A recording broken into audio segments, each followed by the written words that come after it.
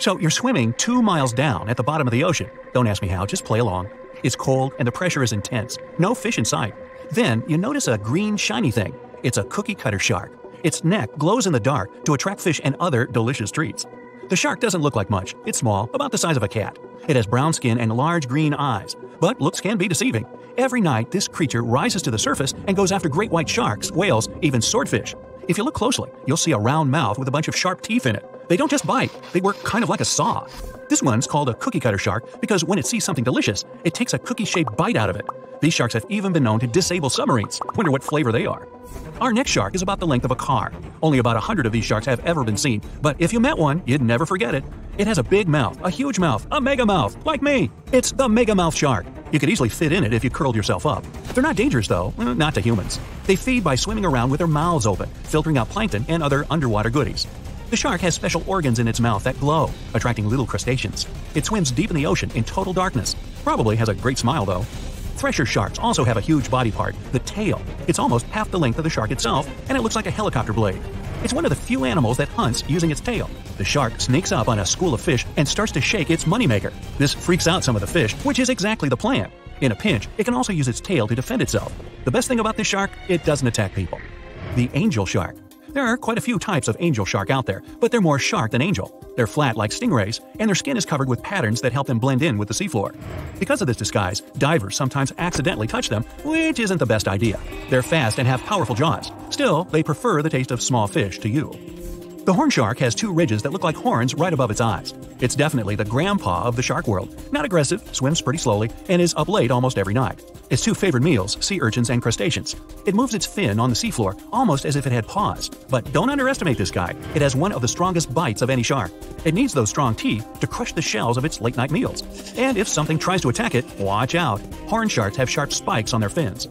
The award for the ugliest shark goes to the goblin shark, and it's not even close. From the outside, it already looks kind of weird and is about the size of a pink underwater motorbike. It has a long tail and a seriously long nose. It lives way down in the depths of the ocean and loves to eat squid. It's not as fast as its relatives, but it's way more sneaky. It has a secret squid catching technique which is totally wild. The shark swims behind the squid. It's catching up, getting closer and closer, but the squid isn't slowing down, no way. It looks like the poor goblin shark won't have any lunch today. Then it opens its mouth. Its jaw is attached to folds of skin that mean it can literally throw its jaw out of its mouth. And it's a shark, so those teeth are sharp. That extra reach helps it grab its lunch, and when the meal's over, it pops its jaw back in its mouth. These sharks have been seen many times off the coast of Japan. They're actually named after the goblins in Japanese myths and fairy tales. There's only one thing out there cooler than a ninja shark. It's the ninja lantern shark. Imagine there's a tube you can slide down that takes you to the bottom of the ocean. It's too dark, you can't see anything. Suddenly, a glowing dot, moving around in the distance. It's coming closer, shooting towards you. It's a blue, glowing head. Worse, it looks like this head doesn't have a body attached to it. The ninja lantern shark has black skin, so it's almost invisible in the dark. It's only the size of a human arm, but its small, sharp teeth are no joke. No one really knows why this shark glows. Maybe to attract tasty fish? Another theory out there is that it uses this light to communicate with its friends. It has friends? The hammerhead shark. These ferocious sharks can weigh up to half a ton. They live in tropical waters all over the world, and they're one of the most recognizable sharks out there. Their eyes really are located on the sides of their hammerhead. This means they can see in almost all directions. They even have special neck muscles to lift their head up and down just to see that little bit better. Their favorite food? Stingrays. You know, those flat things that swim along the seafloor, camouflaged to look like sand and bits of rock. Stingrays get by by blending in with their surroundings. Danger mostly just swims by, but the hammerhead's eyes see everything. Uh oh. Great white sharks, hammerheads, and other large sharks live for about 25 years. But one shark can live much, much longer. The Greenland shark can live anywhere from 300 to 500 years. It lives mostly in the North Atlantic and Arctic Oceans. It loves to swim deep down where it's dark, so it uses its nose to sniff out food. Since it spends so much time down there, it's figured out how to withstand the strong pressure. It's one of the oldest living, largest, and slowest fish on Earth. Just imagine, you're on an Arctic cruise and you see one of these sharks moving slowly through the freezing cold water. It might be 400 years older than you. Most sharks are omnivorous. They can go after dolphins, other sharks, crabs, sea urchins, smaller or even larger fish, hot dogs. Eh, kidding about the hot dogs. But the bonnethead shark is a bit different. It eats algae for about half its meals. It's actually related to the hammerhead shark, but its head looks more like a shovel. Can you dig it? If you see this guy swimming around, you might think it's a sea snake or a huge water worm. Frilled sharks like to swim way down at the bottom of the ocean, like a lot of sharks. When they're chasing something delicious, they move kind of like a snake. And just like a snake, they like to gulp down their lunch all in one piece. But that doesn't mean they don't have teeth. They have about 200 nice and sharp ones. The saw shark has a long, flat, and seriously spiky nose. Those teeth on its nose never stop growing. Each tooth is equipped with electric receptors to help the saw shark feel around for nearby fish, like a ship's radar. When dinner's nearby, the shark swims up and strikes with its nose, waving it around like a knight showing off his skills.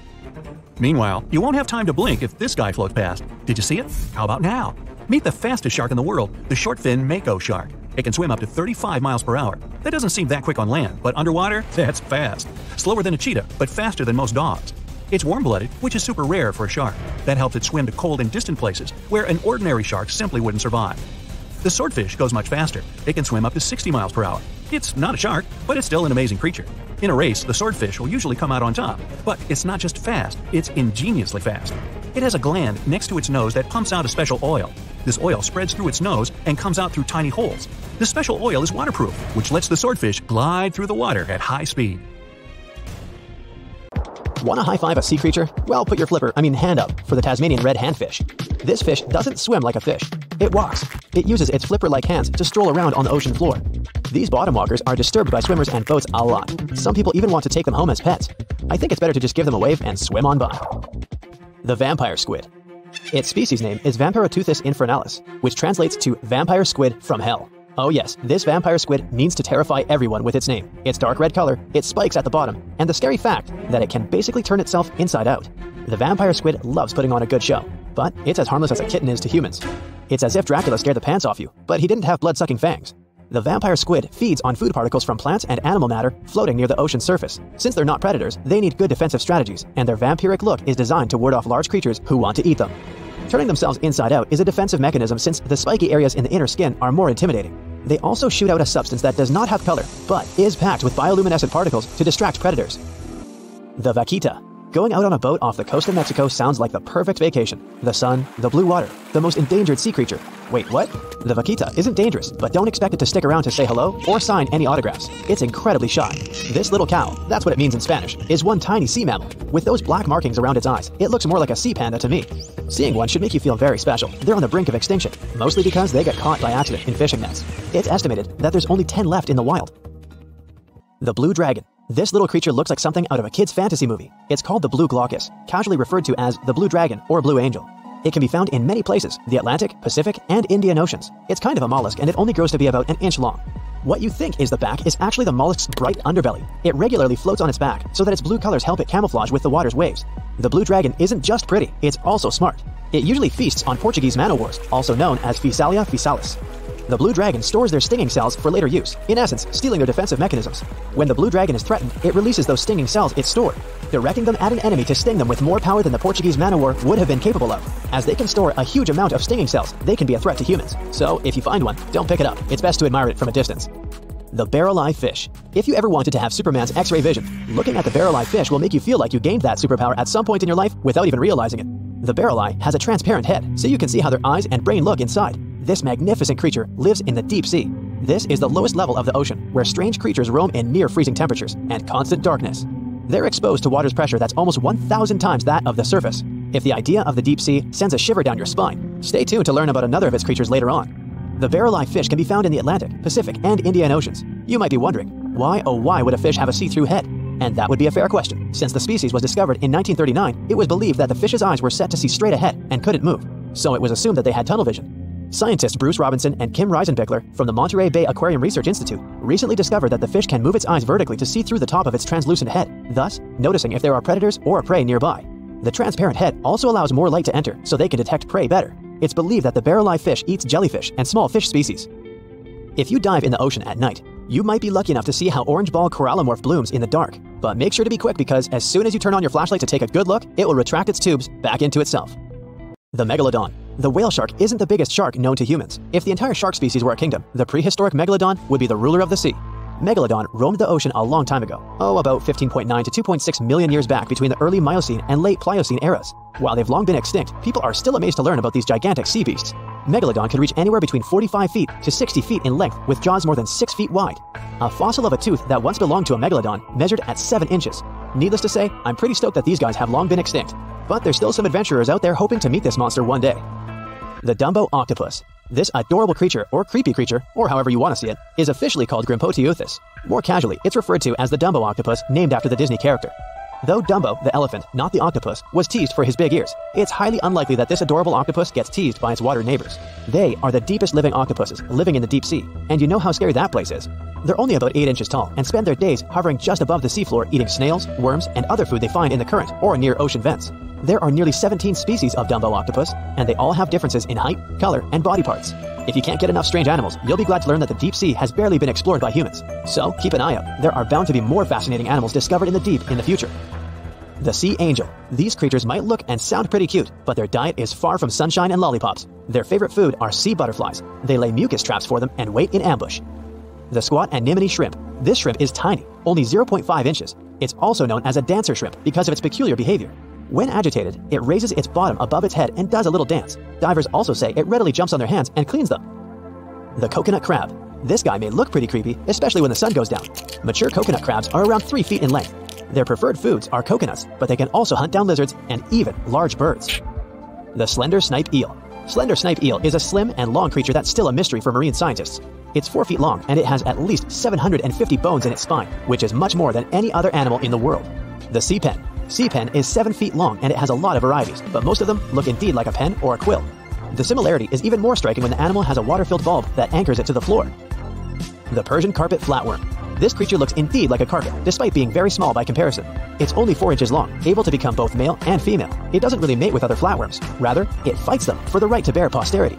The flamingo tongue sea snails. Tourists love these extraordinary snails for their pretty colors, thinking it's a shell, but in fact, the shell is quite dull and hidden underneath colorful soft tissues. They eat softer toxic parts of corals and store their toxins to protect themselves. Most of the ocean is still shrouded in mystery, whether we're talking about dark corners or creatures that are hiding in the depths. But sometimes, it gives us a peek into scary things it hides in its cold, dark depths. Like when you hear on the news that there are some deep sea creatures washed ashore after a powerful storm once again. Some just look weird, while others are real monsters that live at depths of more than 3,300 feet. The coldest and deepest parts of the ocean have created one specific phenomenon called gigantism. So, sea spiders, squids, worms, and many other animals, mostly invertebrates, or creatures without backbones, they are all way bigger and scarier than the versions we see in the more shallow areas. In the Pacific depths, you can see a sea sponge as large as a minivan. Or what about the colossal squid that lives in subantarctic waters and is nearly 14 times longer than the arrow squid, a type that mostly lives in New Zealand? Researchers found many of these underwater monsters in the abyssal zone of the ocean. Back in 2021, the researchers showed images of the giant phantom jelly. It was at a depth of 3,200 feet. Its tentacles were 33 feet long. Well, I wouldn't like to face that one on the beach. It probably eats only small fish and plankton, but it can swim to depths of more than 21,900 feet. And down there, this giant jelly doesn't have enough food. How does it survive then? Scientists haven't figured it out yet. And there are even more questions related to the giant squid, the biggest one ever found. This monster is 43 feet long, with a weight of nearly a ton. Imagine if those tentacles would grab your car, or something like that. They would smash it like it was a toy. There's no light in the abyssal zone. Sun rays just can't penetrate that deep. So there's no algae or underwater plants there. Local animals mostly eat snow. Marine snow is not like the regular one you build a snowman with. It consists of any small flakes or remains that fall from the surface of the ocean. Maybe even some leftovers that animals up there couldn't eat. So it's not much, but apparently it's enough for very large creatures that hide deep down there, like giant squids. Squids that generally live at such depths don't bother going after their prey. They just wait until the poor animal swims right up to their long tentacles and falls into a trap. It may not be the best method ever, because not many animals will even swim into these dark cold parts, but it's the method that saves energy. A giant squid eats only one ounce of fish daily, which is approximately 45 calories. That's nearly 50 times fewer calories than an average person should eat per day. So when a squid gets one fish, it saves it for a couple of days. I hope giant squids won't get the idea to go to the surface and look for food when there's not enough of it in the abyssal zone. And I hope even more that giant Greenland sharks won't get that same idea. You can find them at depths of up to 7,200 feet. They're twice as slow as we usually walk. They swim at a speed of 1.12 feet per second. Their slowness is part of the energy-saving mechanism that creatures down there need to survive. But they can speed up in the form of short bursts when they need to catch prey. But they kinda change their diet from predator to scavenger, considering their environment. There will be more leftovers falling from the surface than animals to go after. Greenland sharks grow just 0.4 inches per year, and they're mostly 20 feet long, which means they live for a very long time, sometimes up to 400 years. They also have a slow metabolism, and that's one of the main factors for their long life, too. Greenland sharks like to spend their time in cold waters. They're adapted to that, since their tissues have specific chemical compounds that prevent the forming of ice crystals all over their body. That means they have some sort of natural antifreeze. So, what makes them so big? Scientists are still not sure, but some theories try to explain it.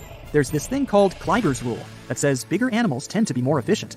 Just take a small fish and compare it to a whale with a mass hundreds of times bigger. The whale has a greater metabolism. It conserves energy more efficiently and loses less of it to the surroundings through heat. Moving on, bigger animals can ingest bigger prey. They're more likely to go through tough issues in their environment or defend themselves from predators going after them. Also, the body gets bigger when temperatures are lower. The Greenland shark is a perfect example. So are giant sea spiders. Sea spiders are generally common, and you find some very small ones at 0.04 inches. But in deeper parts of the Antarctic, they become three foot long giants. They grow so big because the cold water has more oxygen. That way, more of it diffuses into the animal's body, and that allows it to grow bigger. Yeah, both as a creature and a nightmare. And how about this giant tube worm? Researchers found it accidentally while they were exploring the mysteries of the Pacific Ocean floor. They stumbled upon unusual hydrothermal vents. Volcanic heat is a thing that gets them going. As water seeps down through faults or cracks in the rock, these vents change their direction. When the water gets out of the vent, it's rich in different minerals and chemicals. Most animals wouldn't survive being around this toxic soup of chemicals, but not these tube worms. They came as a true surprise, because not only are they not bothered by these toxic vents and the almost boiling temperature of the water, but they developed entire ecosystems there. They're unique because they don't need sunlight to survive. Instead, small bacteria are their main source of energy. That bacteria gets their energy directly from these toxic chemicals. So it's not photosynthesis, but a process called chemosynthesis. And these tube worms don't have mouths. These bacteria live inside them. Strange story, huh? Plus, these scary worms reach up to 8 feet. Giant isopods are no better either. They lurk at the depths of the ocean of 1,640 feet or more below, far away from the sunlight, looking like some monstrous wood lice. They spend most of their time on the seabed, hoping to find some food falling from higher levels of the ocean. Check out their small hooked claws at the ends of their legs. Isopods use them to remain more stable while moving around the ocean floor. Since there's no light, they have long antennae that help them feel their way around. These sensory antennas are about half the length of their body. Giant isopods have pretty big eyes compared to their body size, too. They can grow over 12 inches from head to tail. And these fellas are really patient. Remember how we said animals down there rarely get food? Sometimes they need to wait for years to get a proper meal. That's why their metabolism is amazingly slow. Five years later. They can go for five years without eating anything. Imagine that. I get hungry just talking about this. In 2006, a biologist did research to compare the differences between the shallows and the deep sea regions. He realized the deep sea mirrors the island rule. First, isolated parts of land develop biodiversity you won't find anywhere else. Second, small bodied life there grows much bigger when it's isolated, compared to life on large land masses. Resources are limited, but also competition and predators. And we don't know much about these deep sea creatures. It's too expensive and too complicated to carry out such research, so we'll just wait for more raging storms to show us at least part of the monstrous world cold ocean depths hide.